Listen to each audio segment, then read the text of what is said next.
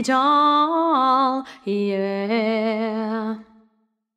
One happy birthday dot com.